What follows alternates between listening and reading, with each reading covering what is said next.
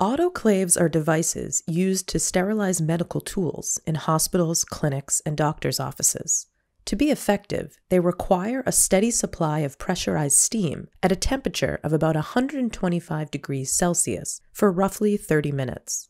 This is usually provided by electrical or fuel powered boilers. However, in many rural areas, especially the developing world, power can be unreliable or unavailable, and fuel is often quite expensive.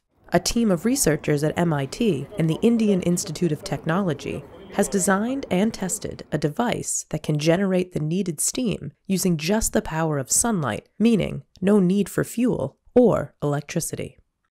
The key to their new system is the use of optically transparent aerogel.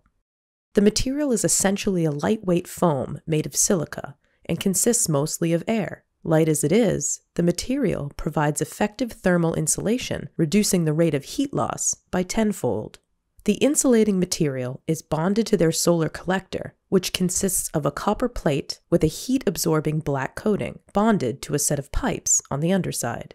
As the sun heats the plate, water flowing through the pipes underneath picks up that heat. With the insulating layer on top, plus polished aluminum mirrors on each side of the plate to direct extra sunlight, the system can generate high temperature steam instead of just hot water. Using gravity to feed water from a tank into the plate, the steam then rises to the top of the enclosure and is fed out through another pipe, which carries the pressurized steam to the autoclave.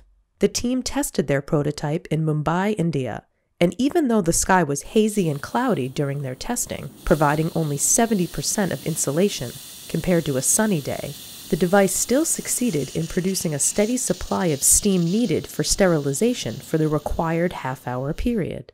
The researchers say once the aerogel material becomes commercialized, the entire system could be built at a very low cost since all the other components are already widely available throughout the developing world.